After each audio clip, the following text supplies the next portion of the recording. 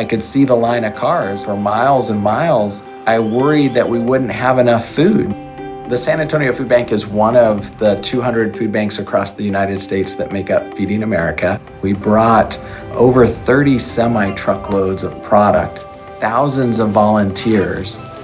It took 1.5 million pounds of food. It sent a message literally around the world.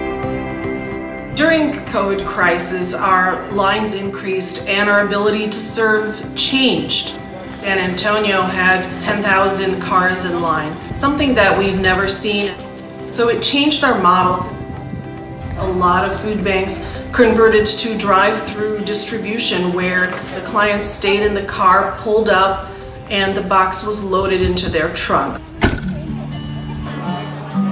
Food is so powerful. It's it's culture, it's tradition, and it enriches our lives the child will say, What's for dinner? And mom says she doesn't know, right? She doesn't know. When families don't have those ingredients that pull them to the dinner table, they don't have food, they miss out on all of that rich complexity that food offers. Feeding America uses VMware in our data centers. 200 servers fuel how we run our food banks and basic operations that help the network stay connected. Part of our strategy in the future is to have a data-driven ecosystem and have that data centralized so we can gain insights immediately on where our demand is and respond to it appropriately. I stayed till the end, till the last car was loaded. We believe it was the largest domestic food distribution. Our community's needs were met that day. No one was turned away hungry. It was incredible.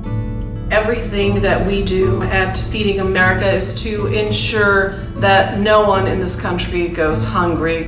And how do we meet them so that there isn't this phobia about standing in line and going to a food bank and to make sure that we're doing it in a dignified way.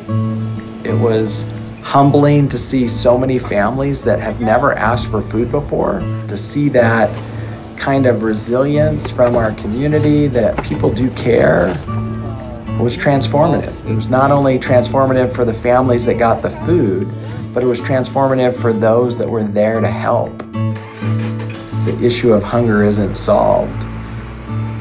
So, lots more work to do.